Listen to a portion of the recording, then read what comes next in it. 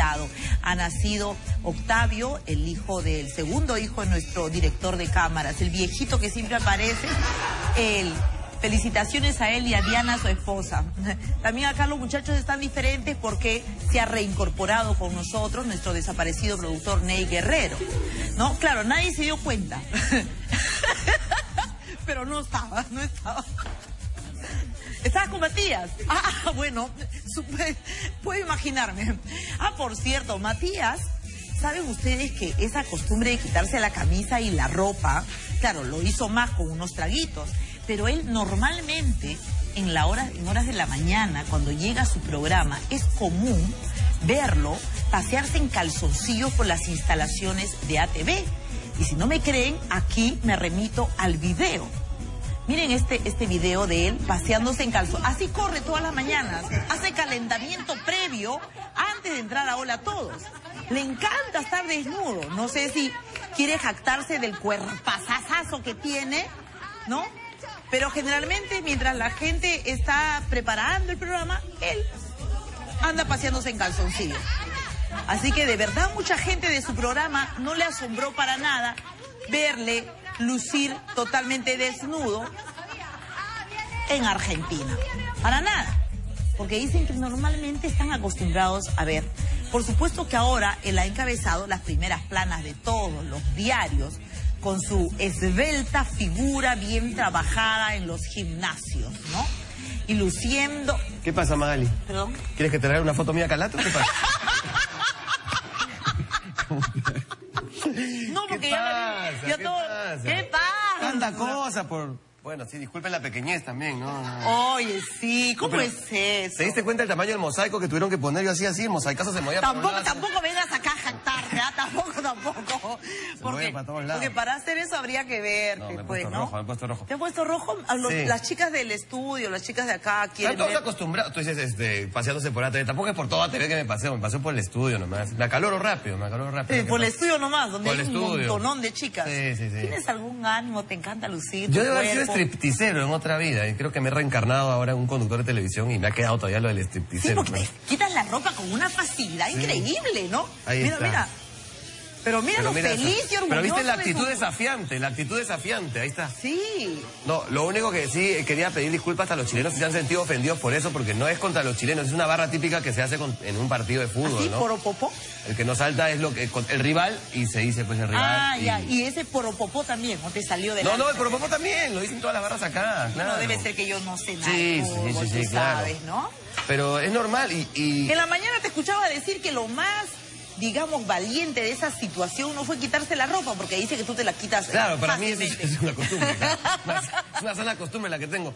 La, la situación era que hacía cero grados bajo... No, cero grados bajo cero. Hacía cero grados, ¿me entiendes? Pero con todo el alcohol que llevabas en el cuerpo ni lo tampoco- sentiste. Escúchame, escúchame. Otra cosa, tampoco está... Había tomado, había tomado, pero no había tomado tanto, tanto. Yo soy así desafiante por naturaleza. Lo que pasa es que los chilenos estaban que molestaban, molestaban y éramos solamente un grupito chiquito de peruanos. ¿Ya? Yo dije, ya, ¿qué tanto molestan? A ver quién se atreve a hacer esto. Y, y gané, pues, porque ninguno se atrevió a hacer No, eso. supongo que ganaste. Sí, sí, ninguno se atrevió a eso, ¿no? Y hay que resaltar, este... ¿Qué te ha dicho la gente en la calle? ¿Te ha dicho Hoy día no, día se- habla calato, todo el mundo me dice, ah, calato, es la, la chapa que me están diciendo, ¿no? ¿Y te sientes mal por eso?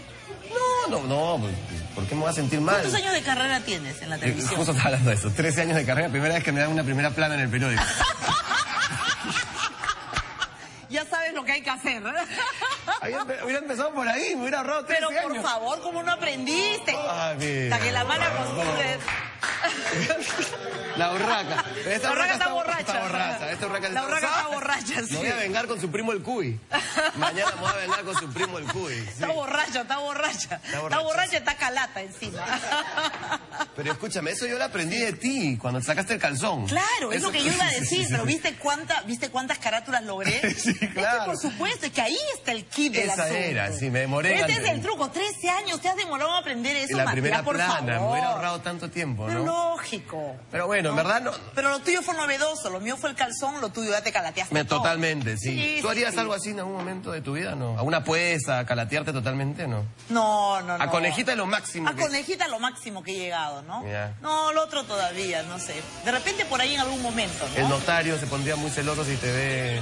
Ay, no sé, yo supongo que sí, ¿no? Sí, no. ¿Y a ti tu mujer qué te dijo? No, sí, se molestó. pues, no. O sea, no se molestó porque ya eso es una sana costumbre, como te digo en mí. el- Ah, o sea que tú en la casa andas y, por ejemplo... Ah, la casa no es normal, pero por ejemplo en una reunión entre amigos me sale el stripper que llevo dentro y ¡zah! sale todo para afuera, ¿no? Ah, ya todos O sea, tus igual me dice que me deje de hacer esas estupideces, me dice porque ya aprendí la lección porque en verdad no está bien, pues que, que, o sea, no me siento orgulloso de lo que he hecho porque, bueno, porque- bueno, me siento orgulloso de lo que Dios me ha dado, ¿no? De alguna manera. Pero, pero Tampoco te me desubiques, tampoco te me desubiques. pero haber hecho eso siendo un conductor de televisión y teniendo una imagen, sobre todo con las amas de casa y qué sé yo, se puede, se puede malinterpretar, pero en el fondo estaba divirtiéndome, había ido con unos amigos, ah, también quiero decir eso, fue en Mendoza, no fue en Buenos Aires, en Buenos Aires no fui por trabajo, fui Ah, por, por diversión. Y estaba con unos amigos divirtiendo, pasándola bien. Y, y también me acordé de Paul Martán, ¿te acuerdas cuando lo sacaste? Oye, sí, claro, en Cuba. En Cuba, que se abrió así el- el- la bata y salió Calato también. Entonces, ¿Qué tienen los hombres que ahora les gusta mostrar el cuerpo y mostrar todas las pequeñeces que tienen? Las pequeñeces, no sé, no sé, en verdad sí, pues es, es una estupidez que tenemos los hombres, ¿no? De desafiar. Pero también este Marco Antonio, el vendedor, también se ha calateado hace poco, o sea, ya la gente está apostando la calateadera, ¿no? Entonces, se me ocurrió apostar la calateadera y gané, pues, ¿no? Lo hice por el Perú, quiero decirlo. Lo hice por el Perú, ahora que estoy acá te lo digo así. ¿Y ahora puedes hacerlo por el Perú también? No, pero no todo, pues, no, no, sacar todo, no hay forma, no. Estamos en un horario de protección al menor todavía. Sí, no se puede. No, sí, se puede, sí, no, se puede. No, se puede, no. No, además tú no tienes ni siquiera pelos en pecho. ¿Te gustan los pelos en el pecho? No, pero tú pareces un Puedes seguir buscando, ¿ah? Matías, Matías. Que no se moleste el notario, que no se moleste el notario, una bromita nada más, tranquila. Tranquila tu esposa también, Ah, tranquila, tranquila. Está en Chile justamente mi esposa. Ah, o sea que no ha salido todo este No, sí ha sabido, ahí- escándalo. se ha ido justo ayer, se ha ido hoy en la mañana, entonces ayer se ganó con todo, o sea que... Sí me ha caído, sí me ha caído mi cafecito, así que nada, un beso para Ya ves, claro, te vas de viaje, suponemos que estás trabajando, te dirá y mira lo que estás haciendo. No, pero sí le conté, no, no tanto así, pero sí le conté que había ganado una apuesta. y eso. Ah, ya, pero no le contaste Lo todo hice el por detalle. el Perú, le dije. le hice El por no le contaste. No, no, el detalle no. Ya no. lo se enteró ahora. Se enteró, sí. pues. Bueno, Matías, este, nos avisas la próxima. Sí, no, ahí sí ya les aviso con tiempo Por para que vayan claro, ampliando para- el lente. claro, Para que exactamente. consigan un lente con panorámica, para que capte bien todo.